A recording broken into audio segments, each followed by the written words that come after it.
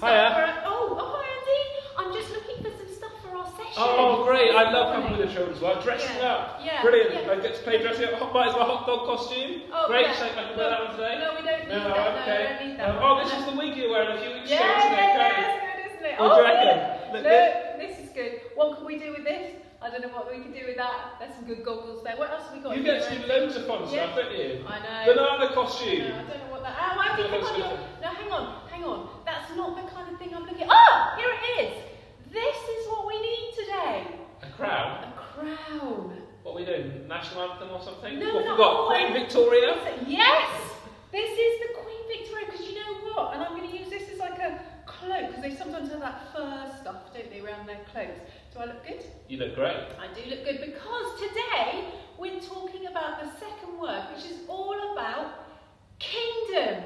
So I thought I'd find some a crown and a costume that shows me as the queen rather than the king in my kingdom. And then I was going to go and decorate the. let me just stop you there. Oh. Because it's actually a different type of kingdom. It's not kind of a kingdom like where there's, where there's a queen like that, like many of the kingdoms on our earth. Oh. We're going to watch a video that helps us understand about God's kingdom or the kingdom of God. This is one of Jesus' favourite subjects that he spoke a lot about in the Bible. God's kingdom, the place where we see that God is in charge. Watch this clip and then hopefully you understand a bit more about God's kingdom. Brilliant. Okay. God's story, kingdom. So, part of God's story is about what Jesus called the kingdom. And it goes like this When Jesus would teach people about God, he would tell them about God's kingdom. He would say, God's kingdom is here, or put God's kingdom first. That might be confusing to us today, especially if we live in a country that doesn't have a king. A kingdom is wherever the king is in charge. Kings can give commands, and people in the kingdom obey those commands. So, in God's kingdom, where God is in charge, people follow God's commands. And in the part of the Bible called the law, there are a lot of commands. It was kind of confusing. Even experts on the law would argue about which commands were more important than others. One day, some religious experts asked Jesus, Teacher, which is the most important commandment in the law? Jesus said, Love the Lord your God with all your heart and all your soul. Love God with all your mind. Now that's what they expected Jesus to say. But then Jesus said, And the second is like it You shall love your neighbor as you love yourself. Everything that was written in the law and the prophets is based on these two commandments. Jesus was saying that if people choose to let God be in charge of their lives, then they'll show it by treating other people, their neighbors, with love. Because God loves everyone people we know, like our family and friends, but also people we don't know, like strangers we've never even met. God even loves people who might seem like enemies. Jesus showed God's love by helping people. He healed people who were sick, and he spent time with people who other people didn't like. He even died to rescue everyone from all the times we've disobeyed God's laws. And he did it all to prove God's love. But God's kingdom didn't stop when Jesus died. Jesus came back to life and told his followers to spread God's kingdom throughout the entire world. And that's exactly what they did. See, Jesus had told them stories or parables to teach them about God's kingdom. Jesus said that the kingdom was like a tiny mustard seed that was planted in the ground and then grew and grew and grew until it became the biggest tree in the garden. And the birds that might have wanted to eat that tiny mustard seed could now build a nest in the mustard tree's branches. God's kingdom might seem really small at first, but it never stops growing. Jesus also said God's kingdom was like buried treasure that a man found in a field. Then, when he realized how valuable the treasure was, he buried it again, sold everything he owned, and used the money to buy the whole field. Jesus was saying there's nothing more wonderful and good than to be in God's kingdom.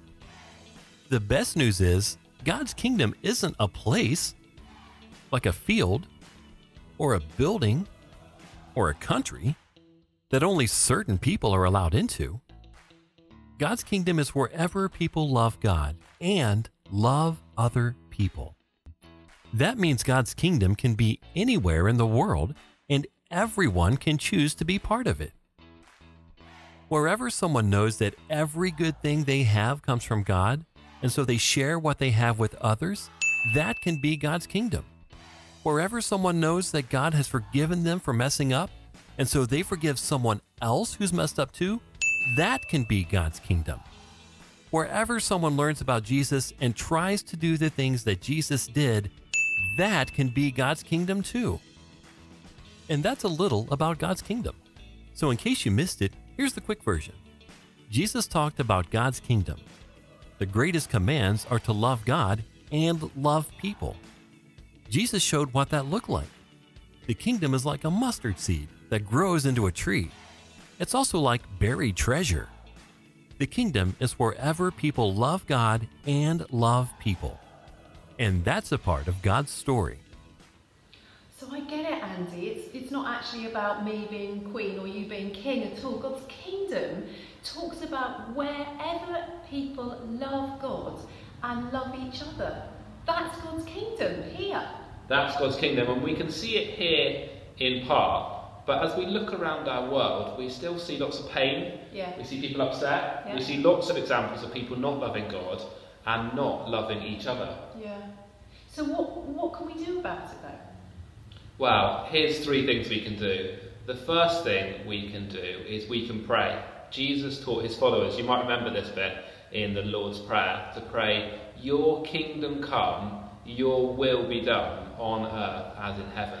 And so we can pray that we would see evidence of God being in charge in our world more and more. More people loving God and loving each other, a fairer world where people are valued and looked after. So the first thing we can do, and we can be specific about the things we're asking, is to pray for God's kingdom to come. And I'm thinking the second thing we can do to be part of God's kingdom is act that way. Act that way that Jesus taught when he talked about in his parables and when he showed people how to live when he was here. So we can act that way. We can show in the things that we do that we love God. We can act in a way that shows that we love other people. And thirdly, we can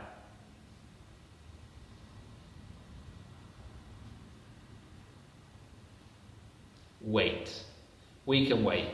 Because although we only see God's kingdom in part, Jesus promised that one day we would see his kingdom in full. And for those of us that believe in Jesus, one day we'll know God's kingdom in all its fullness. When Jesus comes again, or if we die before and go and be with him forever, we will know God's kingdom in all its fullness, where God is fully in charge, where there's nothing that's sad, where there's nothing that's bad, where everyone who's with God loves him and loves each other. So we can wait, and Christians have hope, because one day God's kingdom will fully come.